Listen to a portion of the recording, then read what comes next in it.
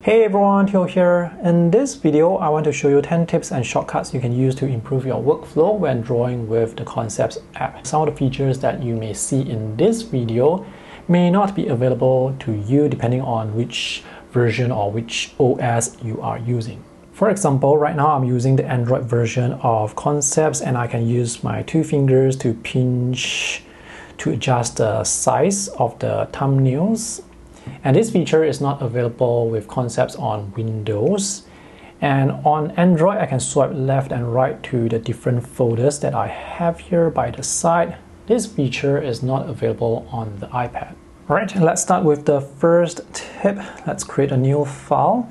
The first tip is you can use keyboard shortcuts with concepts. Concepts on Windows will get all the keyboard shortcuts, whereas concepts on iPad and Android only have a subset of shortcuts. So with keyboard shortcuts, you can actually use the number keys to switch between the twos. You can press 1 for tool number 1, 2, 3, 4, up to 8. So instead of using your pen to switch between the twos, you can use the keyboard shortcuts to switch between the twos very quickly.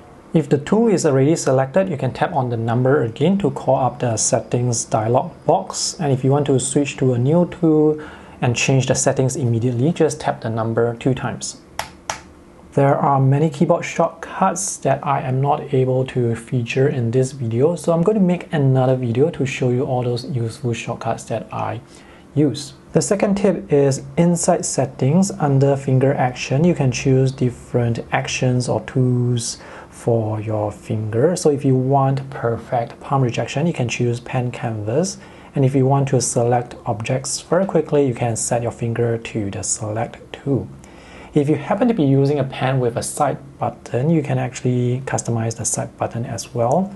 For example, I may want the side button to select objects, so I set it to the select tool and I want my finger to just pan the canvas. So when you are drawing, you can use your finger to pan around. Of course, you can use two fingers to pan around anyway. It's just that sometimes I prefer to use one finger. And if you want to select any objects that you have drawn, because the shortcut has been set to the side button, I can press the side button here to select this object. So this is my computer table. Let me just switch to tool number two using the keyboard I switch to tool number two for the thinner lines and tool number three for the thicker lines. Let me just draw my computer monitor that is on my table. The third tip is to use the locking feature to help you delete things more easily. So here I have my computer stand overlapping the table behind so you can see this line which I want to delete. I can also see lines overshooting into this monitor stand. So to delete all these lines easily, I can use the select tool here or the shortcut that I have assigned to my side button. Select the stand, lock it, and now I can switch to the eraser tool or the slice tool and just erase the line beneath without affecting the computer stand. The fourth tip is on how you can unlock objects quickly. If you know where the locked object is on the layer, you can tap on the layer and tap on the arrow button and tap here to unlock that object. And this will unlock everything on that layer. If you don't know where the locked object is, you can use the selection tool and tap here to include lock objects and do a big selection over everything and tap on the unlock button here.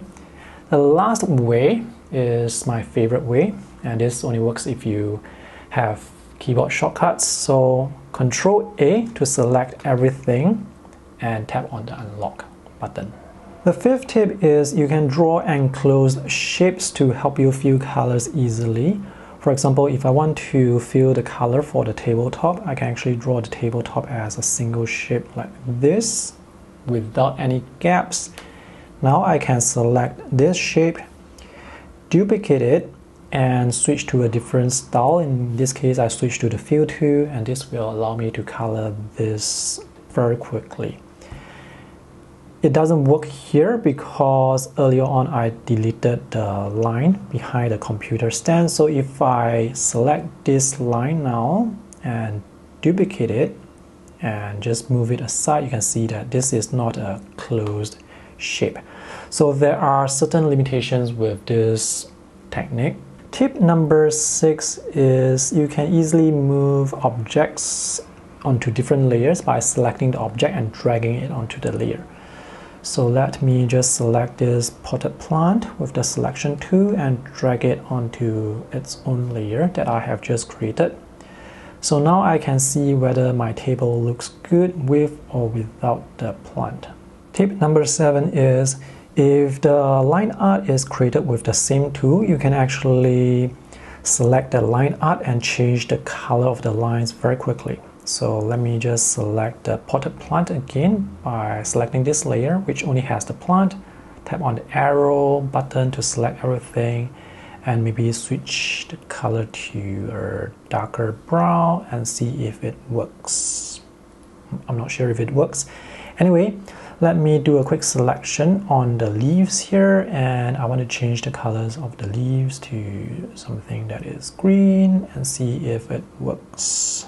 The next tip is on how you can reuse colors that you have already used in your palette. To do that, just go into the settings, go under gestures, under tap and hold, select the color picker tool. So now when you tap and hold on the canvas, it will pick the color.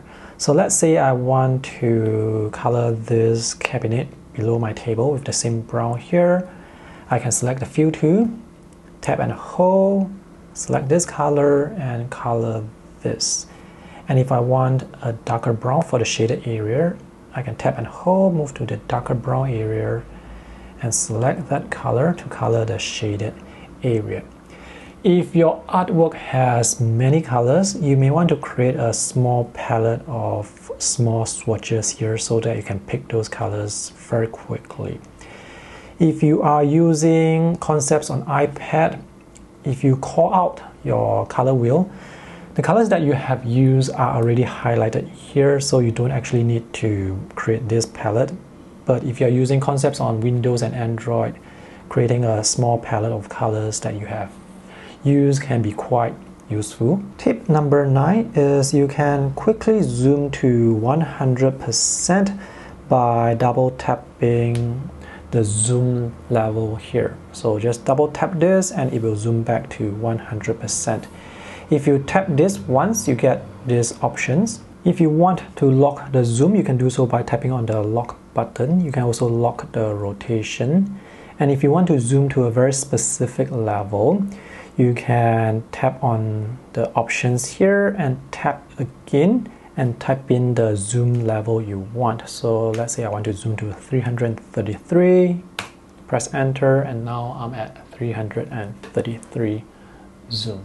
The last tip is for those who are using concepts on the iPad. If you look at the layers palette and the sorting is set to automatic, when you select a tool, a new layer will be created for that tool specifically. For example, I just tap on the pen tool and a new layer for pen has been created. If I tap on the fill tool again, it will go back to the fill layer. If I tap on the splatter brush that I have, a custom layer is created. You can actually change the name of this layer, not from here, but from inside the brush settings. So let's say whenever I select the spatter brush, I want that layer to be called spatter. Let me select that brush first, which is under the waterfall set. That's called spatter 7. Tap on it again and scroll all the way down. Currently, that layer is called custom and I can change that. So let me just tap on that name, delete it and call it a new name called WC Spatter 7 and enter. So now when I select that specific spatter brush, a new layer called WC Spatter 7 will be created. You can create a custom layer name for each brush that's here and you can also create a custom layer name for the default brushes as well. So those are the tips and shortcuts that I use all the time. If you guys are interested to learn more about concepts, you can check out the many free tutorials that I have on my YouTube channel. I also have some detailed illustration courses on using concepts which are available on Skillshare and also on my Patreon page. The links are in the video description below. Alright, I hope this video is useful. See you guys again. Bye!